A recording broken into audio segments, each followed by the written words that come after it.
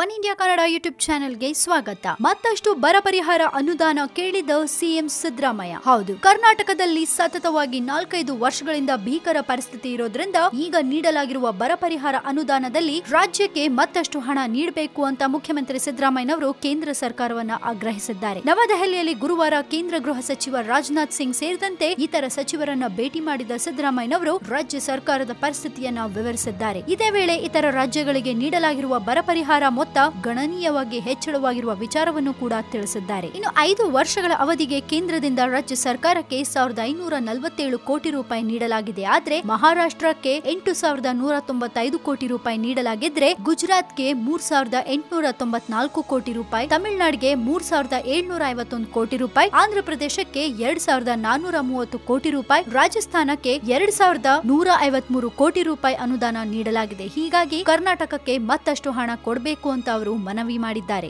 ಏನೇ ಹಣ ಕೊಡ್ಲಿ, ಏನೇ ಮಾಡ್ಲಿ, ಬೆಂಗಳೂರಿನ ಈಗಿನ ಪರಿಸ್ಥಿತಿಯನ್ನ ಸರಿ ಮಾಡಿದ್ರೆ ಸಾಕಾಗಿದೆ. ನಿಜಕ್ಕೂ ಜನ ಎಲ್ಲ ಒದ್ದಾಡ್ತಾ ಇದ್ದಾರೆ. ಬೆಂಗಳೂರಲ್ಲಿ ಈಗ ಮಳೆ ಬಂದ್ರೆ ಸಾಕು, ಜನ ಹೆದರ್ಕೊಳ್ಳುವಂತ ಪರಿಸ್ಥಿತಿ ಬಂದಿದೆ. ಮೊದಲು ಈಗ ಸರ್ಕಾರ ಇದನ್ನ ಸರಿ ಮಾಡ್ಬೇಕು. ಆಮೇಲೆ ಬೇರೆ ಎಲ್ಲ ವಿಷಯಗಳ ಬಗ್ಗೆ ಗಮನ ಹರಿಸಿದ್ರೆ ತುಂಬಾನೇ ಒಳ್ಳೇದು ಅಂತ ಅನ್ಸುತ್ತೆ. ನೀವೇನ್ ಹೇಳ್ತೀರಾ ಇದ್ರ ಬಗ್ಗೆ? ನಿಮ್ಮ ಒಪಿನಿಯನ್ಸ್ ಏನು ಅನ್ನೋದನ್ನ ನಮ್ ಜೊತೆ ಶೇರ್ ಮಾಡ್ಕೊಳ್ಳಿ. ಹಾಗೆ ಮತ್ತಷ್ಟು ಸುದ್ದಿಗೆ ಮಿಸ್ ಮಾಡಬೇಡಿ, ಸಬ್ಸ್ಕ್ರೈಬ್ ಮಾಡಿ. ನಮ್ಮ one India Kannada YouTube channel ಜೊತೆಗೆ ನಮ್ಮ ವಿಡಿಯೋ ನಿಮ್ಗೆ ಇಷ್ಟವಾದಲ್ಲಿ ದಯವಿಟ್ಟು ಶೇರ್ ಮಾಡಿ ಲೈಕ್ ಕೂಡ ಮಾಡಿ.